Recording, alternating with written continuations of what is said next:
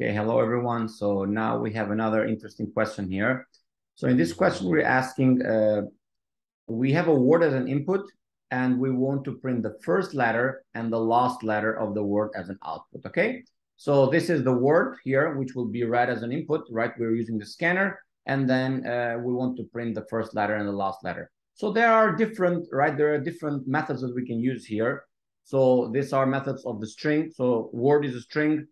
In the word, we can use the length method, right? Length will give us the length of a specific string, right? Uh, so in this case, if there are five characters here, there the, the length will be five. So word.char at is another, right, is another method that we can use. But here as a as a parameter, you have to give the index, right? Which right, which position do we want to get? And it will return you one character from there, right? One char. So if you give this, if you give a, a two here, it will give you this letter here because the index starts from zero. So zero is A, one is D, and O is char index two. Uh, another method that we can use here is uh, word dot substring, right? Substring is a is a method, right? It's a method that will give us it will give us a, per, a part of the string by giving the right where to start and then where to end, and then you can cut it. So there are two different methods. One is uh, with only one parameter, which tell me where to start and it will get it till the end. And the second method is uh, with the beginning and ending index, so where to start and when to end, and you cut the word. So these two methods that have the same name are called overloading methods. We're going to learn about it, but in this case, we're going to use one of them, okay? And then another method that we can use, uh, it is word dot replace, replace, okay? So this method here uh, says that if you want to replace, right, in this string, you want to replace one specific string with another string right over there. So uh, let me just, you know, replace all. Of course, we can also use replace all, but I'm going to use replace. And then we say replace a specific, right, a specific string or specific something there with nothing, okay? So of course, you can solve this one in different ways. Uh, I, I, you can solve it in a million ways. I'm going to solve this one in two or three different ways. And then if you did it in a different, another way, still, as long as the result is correct, uh, you're done, okay? So let me start with using char at, okay? So I want to print, right? I want to print the first character. So how I can print the first character? I can say, right? I can say word char at index, and then I can say index zero. If I say index zero, it will print the first letter there, okay? So let me just uh, use the sys out, which is the print command, and I want to be to stay in the same line after we print this character. This will print one character, and then later on, I also want to print, right? I also want to print the last character. How can I print the last character? If I get the length, the length is five, but I want the last character, which is at position four. So always one less than the length. So it is length minus one. So instead of using zero here as an index, I'm going to use word.length, right?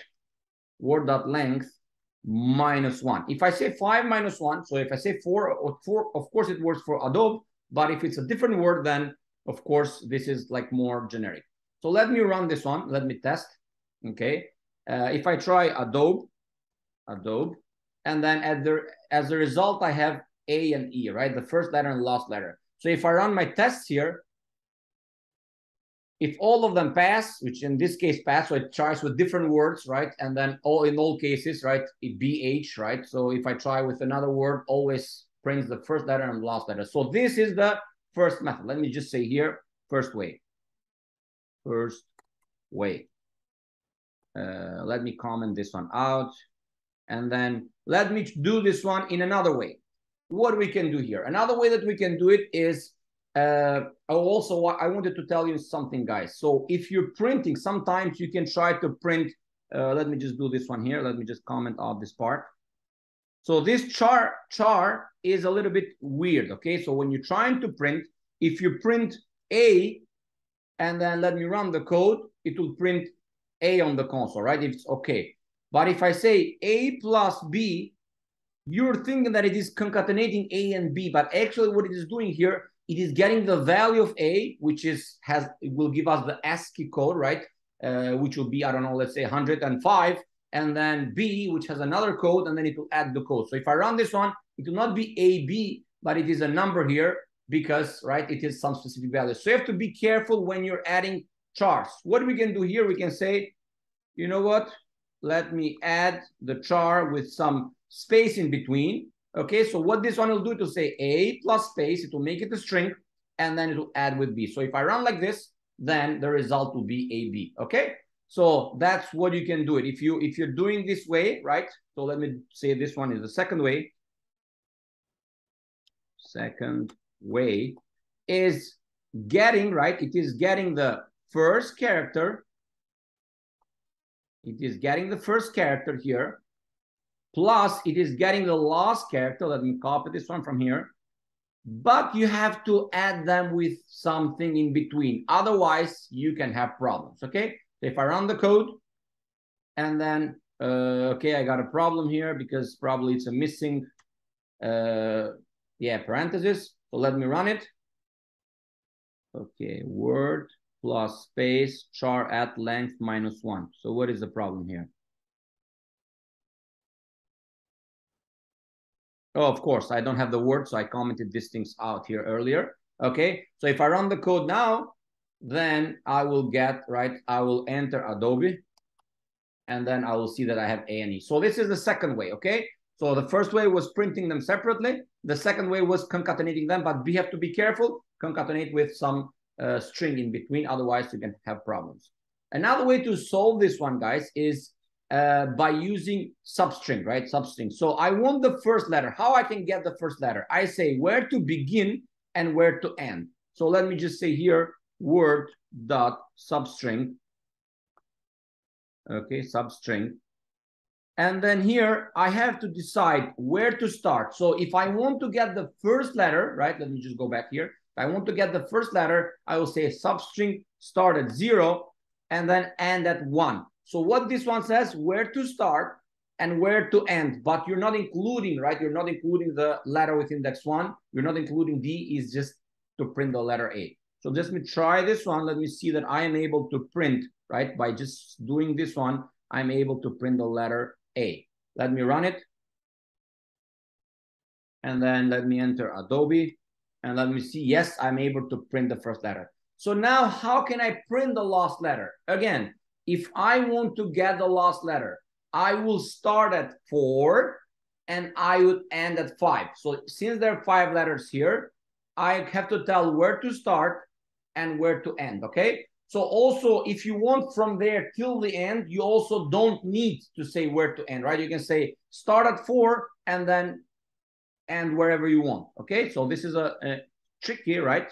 Let me also put this one here another method that we, we are using here, right, is word substring where to begin. And if you don't give the end, it begins at a specific place and gets it till the end, okay? So I will start at the fourth character, right? But of course, again, I don't want to hard code it. I want to, right? I want to do it uh, dynamic. So word dot substring substring. And then here, just I need to tell where to begin where to begin is the the last letter. So it is word at length minus one. Okay, word at length minus one. So here I am adding a character plus a character. Here I am getting a string, which actually is also one character, but it's a string. And here I'm getting a string, which is starting from there till the end. So let me just run it. Let me just test with Adobe. And let me print and we see that I'm able to get A and D. So let me test again with this result, right? Let me test this one and it should pass all the tests. So this is the third way. And I'm gonna go one step further, right? Of course, you don't need to solve this one in different ways, guys. Any of them is correct. And then this is the, right? This is the last way that I'm gonna do. Fourth, I didn't need the R here. Fourth way uh, how can I do it? So I want to say, you know what? Get dope. How can I get dope from there? And then remove it. So if I want to get dope, I can say here, word dot substring, okay, substring And then this one, I need to start at not the first letter. I want to start at the third, second letter. So the index is starting at one. And then I want to end not until the end, but like one before the end, right? So that's why I will say word dot length minus one. Okay, so that's where to start and that's where to end. So let me see, first of all, if I'm able to get this DOB, right? These letters and not the first and the last, last one. So this is how I can, right? This is how I can print, how I can print starting from the second letter to the one which is previous to the end, the last one. I know this one looks a little bit complicated, but uh, if you practice, you're gonna get it. So I can get D, O, B, okay? So now what I want to do, I'm saying from the full word, remove DOB how I can do it, right? How I can do it. Of course, this is just to show that I can get this part. Then I will say word dot replace, okay, replace. I want to replace DOB, right? I want to replace DOB with nothing. So what is, right? What is the string that I want to give? The DOB. This was how I can get DOB from this one. Okay and then I want to replace that one with nothing. I know this is the most confusing one, guys. So that is how I can remove, right? This how I can remove the DOB from the string. So let me just try to print this one now. So uh, I can also put this one in a string, string, the uh, final result, right? The final result. Okay, well, let me just say here result is equal to this one. So this is what I want to print, right? This is what I want to print. Get the DOB and from there, right? And then from there, uh, change it. So let me just print it. Let me just print the result. And let me run the code. And then let me try Adobe. And then you see again, I was able to remove the DOB and print A and D. But this one, right? be careful, not always, not always correct. Why? Because you may have multiple DOBs or whatever, right? Sometimes you have to be careful. For example, if you have a, a word which has a repeating part, and then if you take it off, it may it may uh, give you a wrong part. Okay, so that's why this one is not always correct. I'm just giving this may work here, but there might be cases it doesn't work. So let me test it. So again, it passed. So you can uh, try different ways, guys, whichever you prefer. Okay. So see you in class on Sunday. Bye.